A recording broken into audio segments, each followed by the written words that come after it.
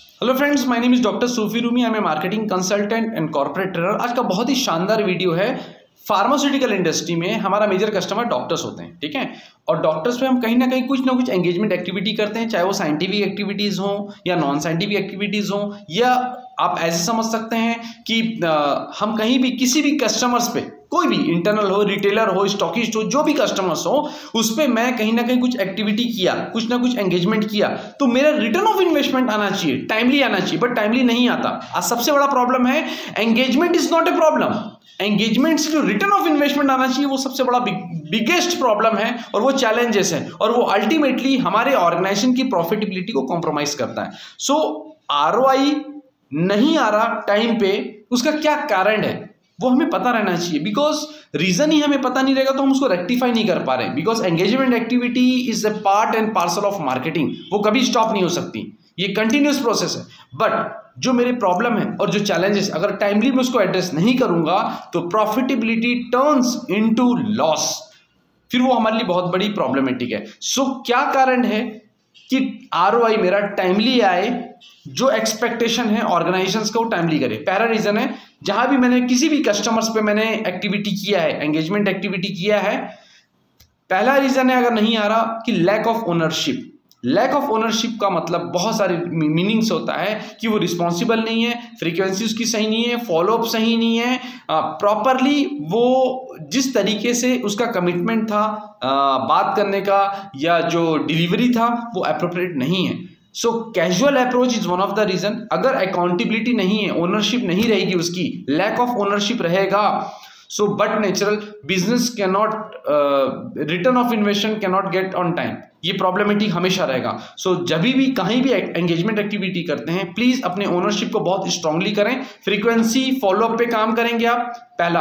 दूसरा सबसे इंपॉर्टेंट है कि जिस भी जहाँ पर भी जिस काउंटर पे भी करना चाहते हैं आप आपका वहाँ पर ना डॉक्टर के साथ या कस्टमर के साथ ना कनेक्ट बहुत अच्छा होना चाहिए। अगर कनेक्ट अच्छा नहीं रहेगा माय डियर फ्रेंड्स तो ये आपके लिए बहुत बड़ी नुकसान है। तो ownership is very important lack of ownership दूसरा, सबसे इंपॉर्टेंट पॉइंट आता है potential measurement is one of the reason मैंने किसी कस्टमर पे एंगेजमेंट एक्टिविटी किया बट पता है कि मुझे जो रिटर्न हर महीना आना चाहिए fifteen thousand twenty thousand twenty five thousand but वो आ ही नहीं रहा है।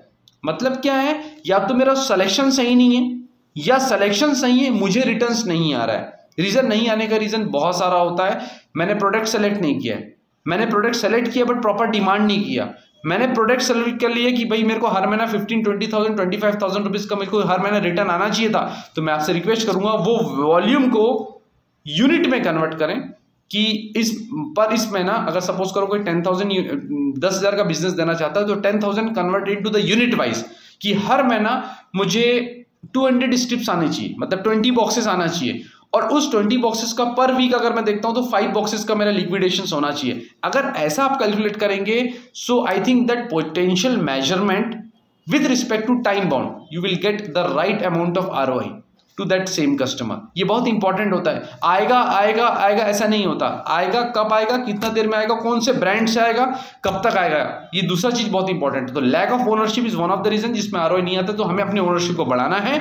पोटेंशियल मेज़रमेंट हमको वॉल्यूम को यूनिट में कन्वर्ट करना है। और थर्ड सबसे इंपॉर्टेंट होता है जो आपका expectation setting the right expectation हर महीना आपको टेन थाउज़ेंड का आना चाहिए। आप ओवर एक्सपेक्टेड मत करें। कि मुझे ट्वेंटी थाउज़ेंड आ जाएगा तो अच्छा रहेगा या फाइव थाउज़ेंड आएगा। जो भी आपने सेट ऑफ़ एक्सपेक्टेशन रखा है, उस सेट ऑफ़ एक्सपेक्टेशन से प्रॉपर फॉलोअप करें, ठीक है? प्रॉपर आरसीपीए करें फिजिशियन आरसीपी करें रिटेल से आरसीपी करें, क्या चैलेंजेस आ रही है क्या, किस तरीके से अपने ब्रांड को वहाँ पर पोजिशनिंग करके रखा है सेगमेंटेशन करके रखा है रेगुलर उसमें काम करेंगे। तो आई थिंक आपका आने वाले समय में आपके रिलेशन भी अच्छे डेवलप होंगे।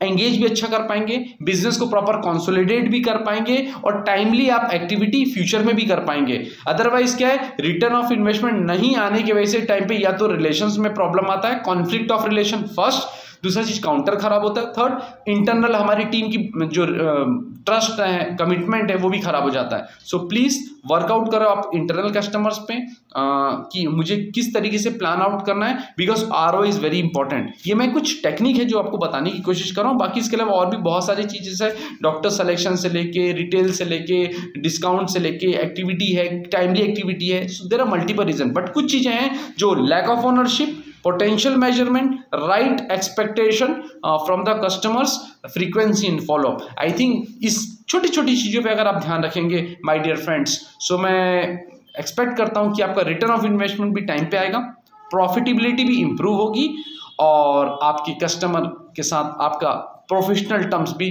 मेंटेन रहेगा। आई थिंक अगर ये वीडियो पसंद आया तो लाइक करें कमेंट करें शेयर करें और सब्सक्राइब करना ना भूलें और अपनी चैलेंजेस बिल्कुल मेरे वीडियोस में शेयर करते रहें। Thank you very much all the very best